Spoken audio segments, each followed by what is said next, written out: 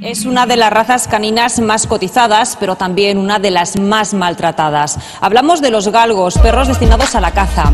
Nos han contado los responsables de algunas asociaciones en defensa de estos animales que cada semana se encuentran un ejemplar abandonado. Mm, hacen verdaderas apuestas con los, galgos. Me enteré que por la Madalena mm, los galgos los empleaban para, para cazar galgos, o sea, para cazar gatos. Hacían apuestas.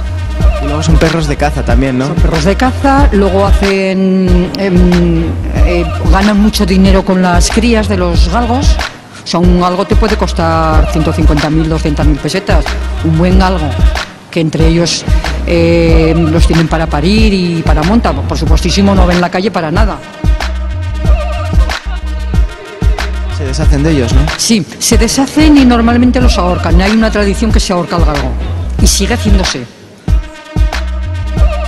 Lo que pasa que ahora con las nuevas normativas eh, hay gente que tiene miedo de que alguien se le chive. Entre ellos hay un petit comité que se callan, no se denuncian, pero siguen habiendo eh, galgos ahorcados.